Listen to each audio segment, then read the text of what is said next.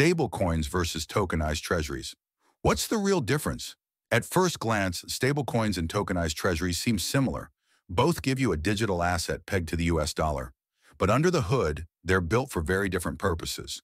Stablecoins like USDC or USDT are designed for payments and liquidity, backed by a mix of cash, short-term treasuries, or other reserves, but you don't directly own the underlying assets.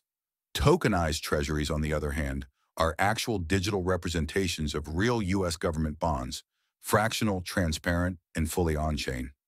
You're not just holding a peg, you're earning yield directly from the bond itself. The key difference? Stablecoins offer liquidity. Tokenized treasuries offer ownership, income, and regulatory clarity. As institutions move on-chain, both play a role. But if you want programmable fixed income with compliance built in Zoniqx, makes it possible. Visit zoniqx.com to learn more.